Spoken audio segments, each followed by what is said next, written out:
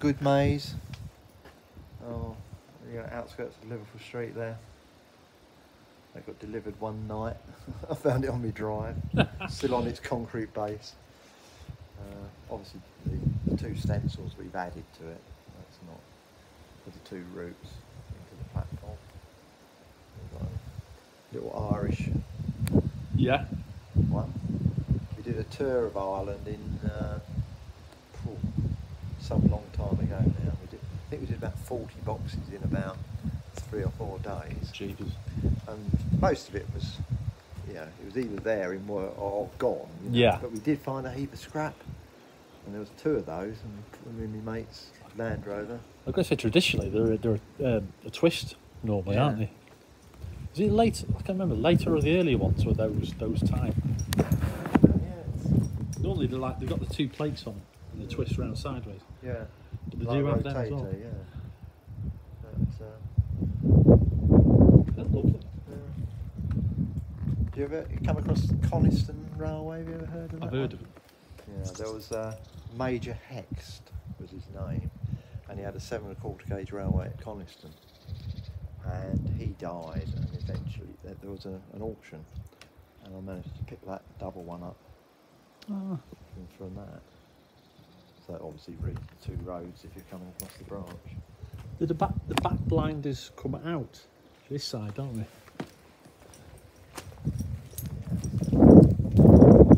Oh no, they do drop drop under, right? Yeah. Cambridge solenoid Dodge. Ah, yeah, yeah. Yeah, probably clunk when that goes off, and of course a London Northwestern normal sort of one. So we've had to, there's no way, the wires run along the edge of the platform here. Yeah. So, and then that, those obviously two go underground to work the, the London Northwestern too. Otherwise it'd just be too many trip hazards. Enough trip hazards, yeah.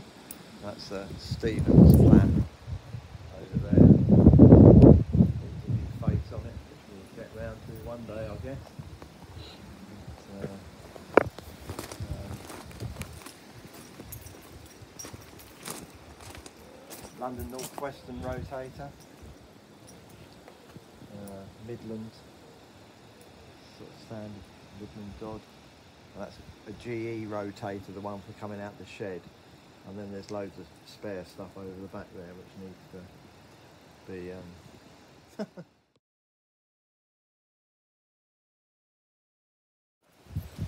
The weather's changed again, hasn't it?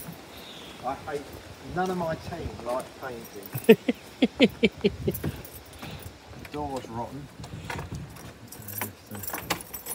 It was an inter- internal door, so it hasn't lasted all that well. Oh wow.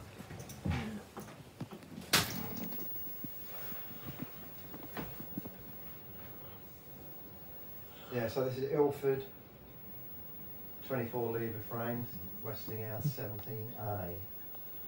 Uh, it's had a couple of different, there's been track changes, so the, the things have moved around a bit.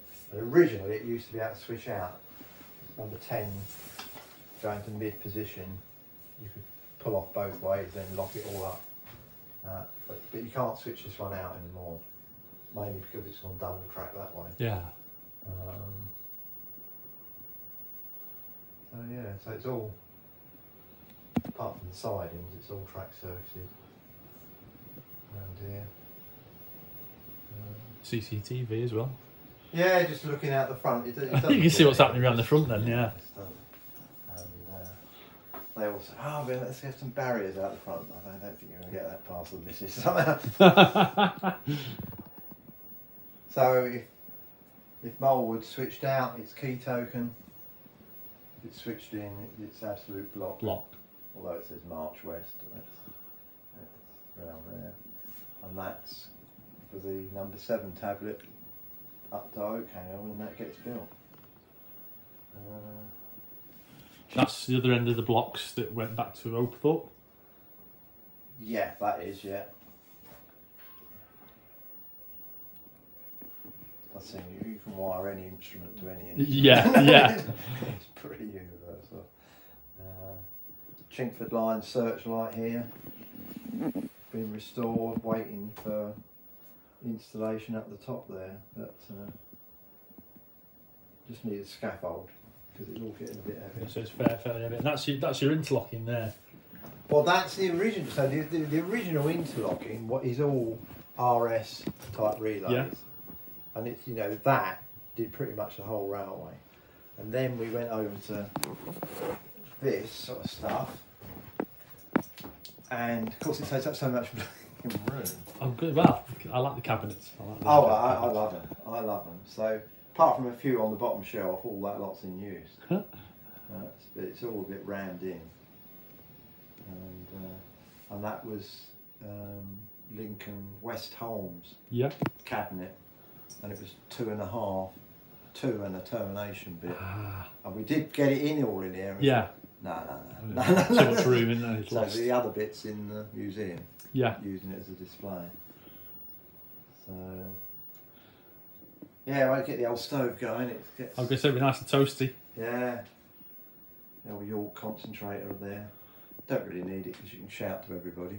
It's just handy, isn't yeah, it?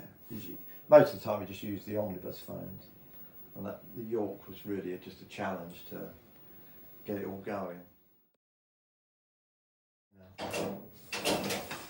There's a crossover, so one end motors, and then that if that's successful, The other end motors. motors, and then we get indication back. Right. So Yeah. if any end loses indication, you've had it. Yeah. That's, um, yes, so it's pretty sort of standard. Coming in this way, because this used to be the single line along here. Yeah. This was just a siding. So when it got double tracked, this, you know, it only really sees traffic one way. Un until we put the branch in, then it does see traffic both way. But rather than, so 22 is the normal in to platform one across here. 19 sort of bang road into platform two, and 13 is into the shed. So 13 and 19, you have to have track H occupied before you can pull them on. Yeah. Otherwise, it stops. You setting up a wrong route, and Yeah. they come steaming round. And the drivers are not exactly au fait with the signalling. We don't want them steaming into the shed with Yeah. It's not too so far. it's uh, uh, and if the platforms are occupied, you can uh, overcome the signalling if you obviously put an engine Yeah. onto a train. So we can, we can do that. Um, because we got a solenoid signal on the route, there's uh, the distant because that'll auto replace. Yeah. Um, it sends the alarm to put your distant back And the train's passed. when the train's passed. If that, as soon as that one goes back, obviously if you, you can't mechanically they're all locked up as, as normal for a distant, but of course that one can auto re- revert. So that's on there.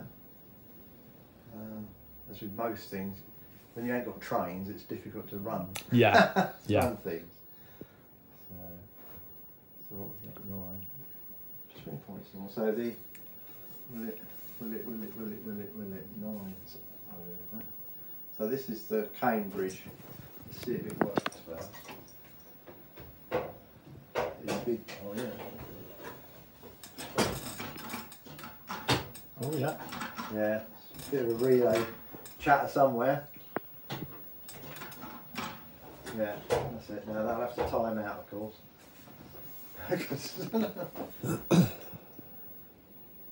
Some of these thermal timers are so temperamental. Yeah. Especially if they've not been used for a while. Oh, bloody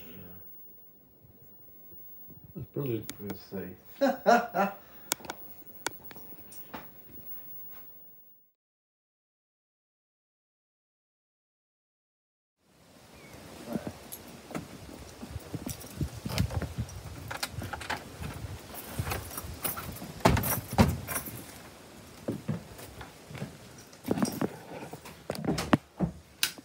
Usually find Mr. Pike in here because it's uh, Is, is, away from the people. Ah, yeah, yeah, yeah. he likes just to sit down. It's a little box.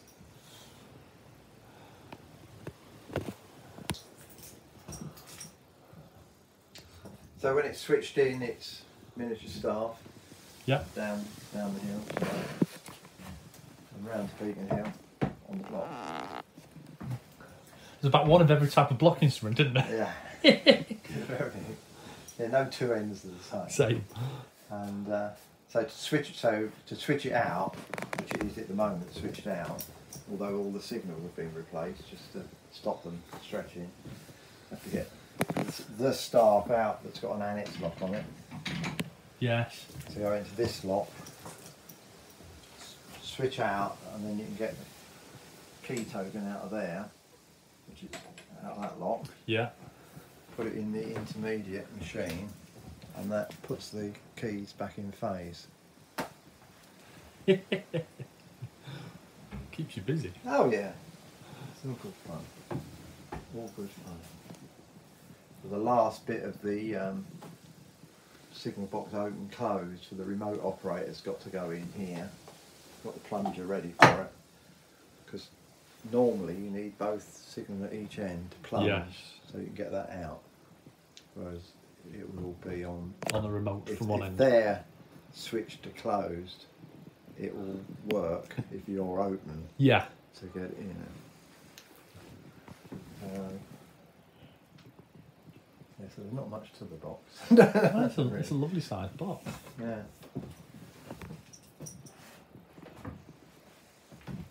I'll really cabinet again. Yes.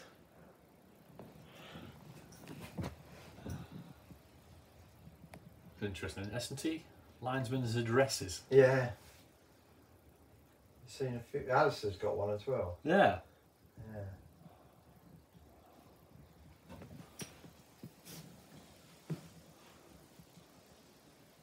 Quadrants come from Richard Pike, and I think are one of the Ely boxes. Um, the shaft came from In- a bit of the shaft out at Ingatstone. And I think the uprights come from somewhere else. So it's all all a bit of copper. So, th- so over there it's SGE locks, Yes. and these are Westinghouse Yes. L's in here, and Oakhanger will be L's as well, purely because that's what we've got. Uh, yeah, there you go. Like, you know, bracket signal on the do- on the dryer Yeah. drawing being played. That's that's what you Three get. dolls. Yeah, good. Southern pneumatic signal. So we use air for the steaming up of the locos. Yes. So we've got air, so that's pneumatic. Um, sort of standard, well the tall version, the tall bodied version. That's got the typical Midland slot, On the the roller there, yeah. Yes. Just even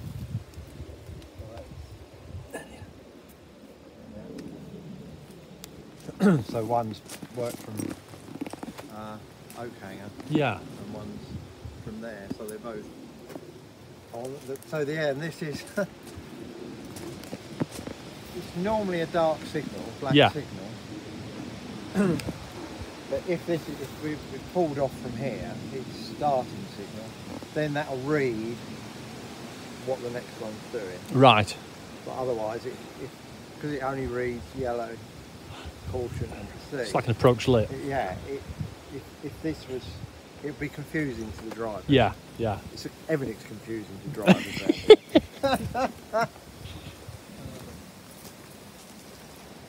Stevens should have the, the lamp should be on a windlass Yes. It goes up and down. up Yeah. this rail. We've got the wheel, but we've never got round to. We've got to make one. And the only one I've ever seen was at uh, the Scottish Railway Museum in whatever railway. Oh. Bo'ness. Bo'ness in Kinneil. And it was up the top. Yeah. yeah. Well out of the way. And the windlass was padlocked up. Nobody could find the key Oh. to get it to come down. So it's just got a temporary temporary thing on it at the moment. So, mind you, it's been temporary for probably 10 years. So the somersault is part of uh, Molewood's Yes. signalling system. I may take it out actually for ground signalling Yeah.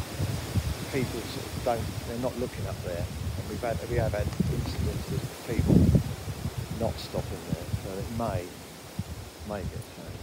So this is all under construction, although all the signalling works, but none of it's interlocked at the moment. So this is the existing Beacon Hills. This just used to be a siding. Yeah. So 18 to signal out to the siding. Again, it's um, another one, a good maze. It was a ground searchlight. That is as it came. Yeah. That just sat in the ballast, leaning over at an angle. So that, that was it. So that's will go once this gets all commissioned. So at the moment, all the points are hand, just hand operated Yeah. but they will be motorised. Apart from the, the split of the two sidings over there, that point will remain hand.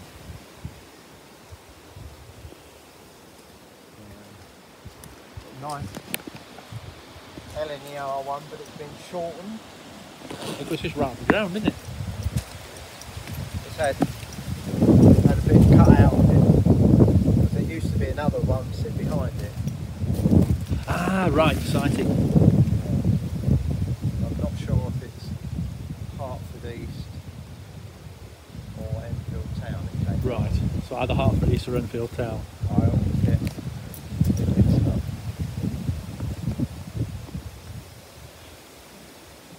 GN rotator.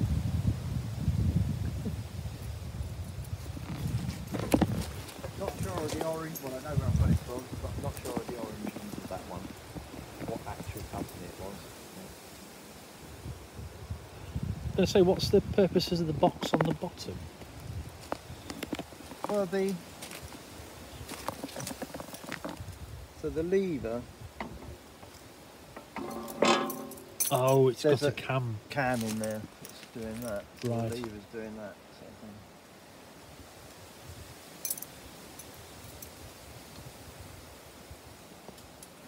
And that will be the semi the that searchlight head that's sitting in Beacon Hill is destined to go on there.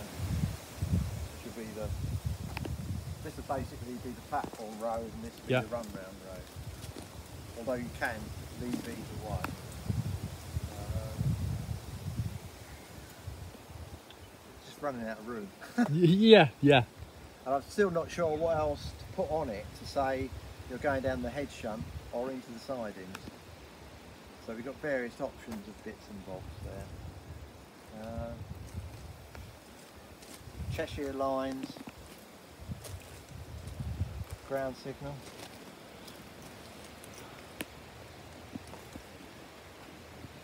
Very small lamp case. I'm going to say. Very little to the post as well. It's just Yeah, it's very slender. But unfortunately, the weights have well and truly rusted on, yeah. and there's far too much weight on it. I might well cut it off, sort it out, and weld it back on again.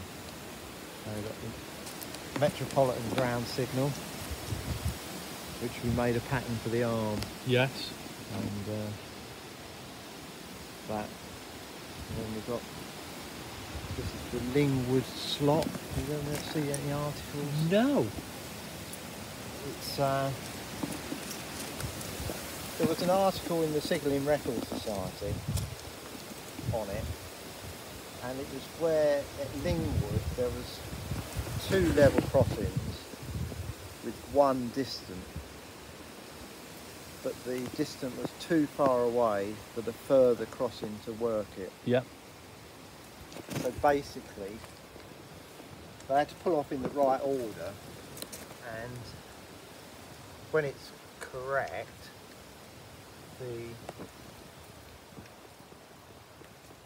this one drops and it engages on here, and then when it's when this is pulled, it will pull the signal. If, if, if anyone rever- release, reverses, it'll drop out of there and fly back. Got you. So under construction. Hopefully get the roof on it. Roof's the next stage, so... So what will this one be called? This is Oakhanger. This is Oakhanger box. Because it's got Oakhanger's frame in it. Ah, right, yeah.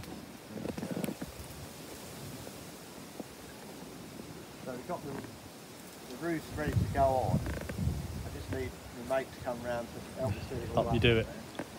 Um, hopefully we've got enough slate to do it. So how many levers will it will it have inside? It's 16 and it'll have 15 working, Right. basically for siding. yes. Yeah. If you can, why not? Yeah.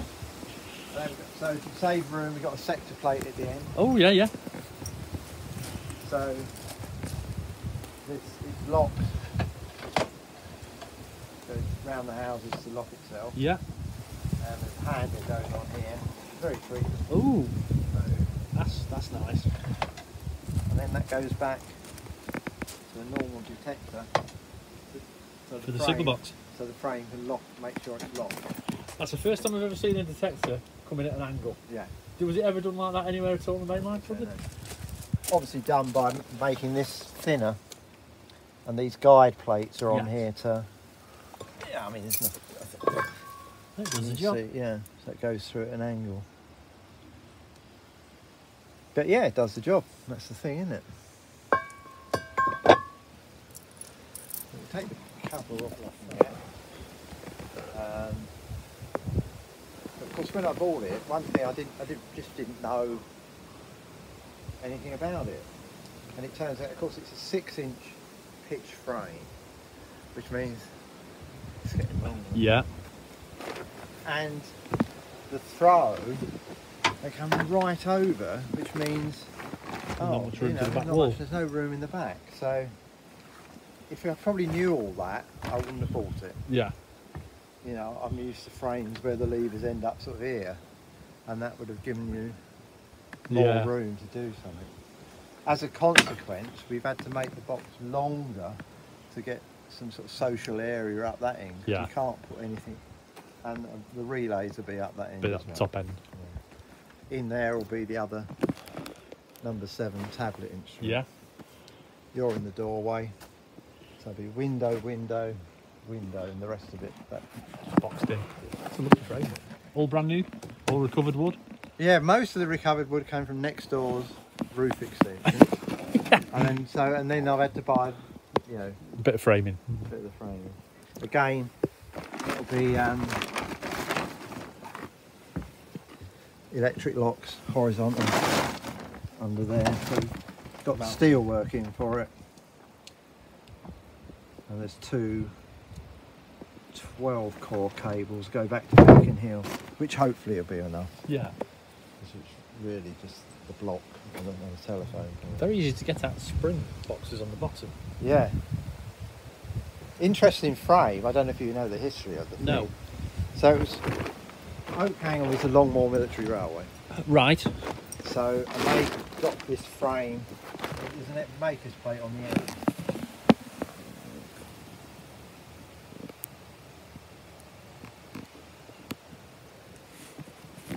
It had a king lever, Yes. number eight, and uh, the locks locks indoors. But it's one of those funny Yale type railway signal co ones. So Yes. not sure how we're actually going to link it all up. There was some issue with um, after the war. It was too. They were too lax with the level crossing, and they needed to make the frame bigger to Yeah. work crossing. So these typical army or navy, they made the extra four levers, but these are all brass. It's all brass because they Oh yeah. they could cast, you know, Admiralty type. yeah. Yeah. Just get it done, kind of So, thing. yeah, one more quadrant, or, or those four quadrants were cast in brass. yeah, amazing. Yeah, I had to make a new one. There was one missing, so I had to make a new one for the end there. So one and two are the the signals coming in, depending on what platform you're coming into, they will be released by locking the sector plate in the appropriate position. And so they're slotted here underneath the frame. Yeah. And then it's slotted on the signal again Itself. as to which one. Oh yeah. Well, you can't see it. That's it. Right over there, isn't it? I've got something else caught up with it. Oh, I think we just. Um, Oh, it's the um, the milepost. yeah. Oddly enough, first time I've ever seen catch handles stamped with a pattern number. Yeah, everything's got a number. Everything's on got numbers on. Yeah. And There's a little series of numbers. The first number all being the same, and then the actual.